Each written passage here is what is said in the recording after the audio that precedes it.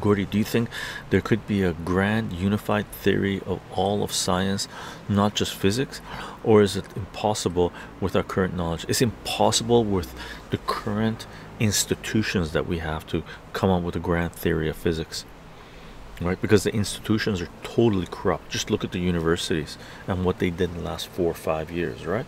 So there will be no grand theory of physics or mathematics coming out, or physics coming out because all the institutions are totally 100% fucking corrupt as fuck, right?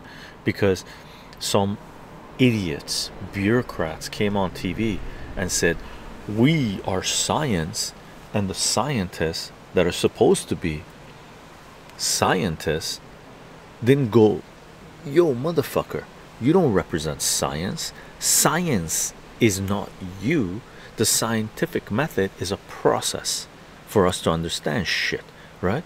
So the entire education system, higher up education, it's all a fucking sham now. It's all been corrupted. It needs to be gutted, ripped apart, ripped the fucking apart, right?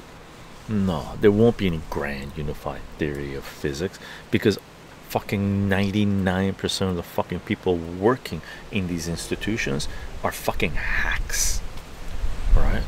Are fucking hacks.